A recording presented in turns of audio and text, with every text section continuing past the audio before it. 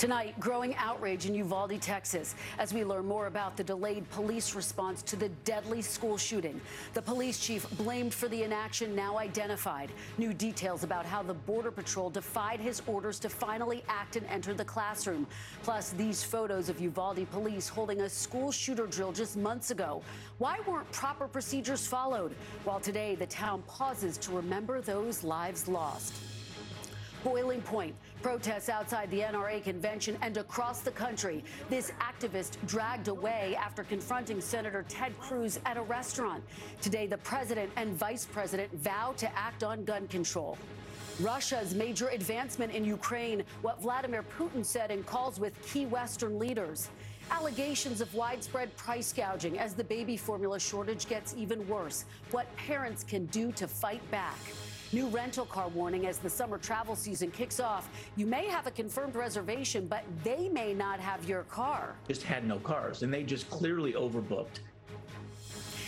And on this Memorial Day weekend, the man turning veterans' houses into homes.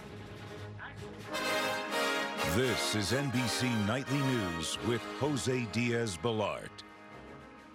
Good evening. I'm Kristen Welker in for Jose. As the Memorial Day weekend gets underway, the anger is growing as we learn new details about what happened inside Robb Elementary School while law enforcement waited nearly an hour to move in on the shooter who claimed 21 lives. We now know the name of the police chief who gave the order to wait, and we learned that he and his department participated in active shooter drills just months ago. So many asking tonight why the children inside were doing what they were trained to do, hiding and calling 911. Why didn't the police follow their training? There are also moving memorials today, grief stricken families united in song.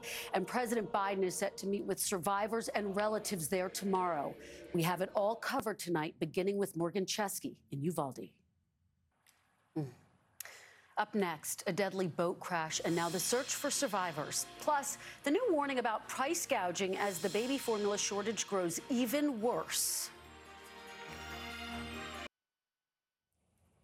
We are back now with news from overseas and Russia's new attacks on Ukraine. This video shows what appears to be a missile attack on a solar power plant in the eastern Kharkiv region. Well, still ahead, a summer travel warning for anyone trying to rent a car. Why a reservation is no guarantee. What you need to know before you book.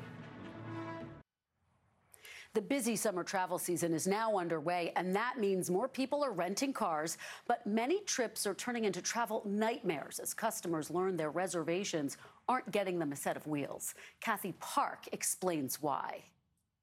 Good to see they made it together. Well, when we come back, one man's moving mission to make homes for heroes. Thank you, sir. There is good news tonight on this Memorial Day weekend about helping our nation's heroes and one California man giving those who served all the comforts of home and a brighter future. That is paying it forward on this Memorial Day weekend. And John hopes to eventually expand his organization nationwide. That's NBC Nightly News for this Saturday. I'll see you back here tomorrow night. I'm Kristen Welker. Thank you for watching. Have a good night. Starting Monday, it's a royal celebration on today. We're live in London for the Queen's Platinum Jubilee Week as excitement builds for this historic anniversary. Your insider ticket to the big event starting Monday on today.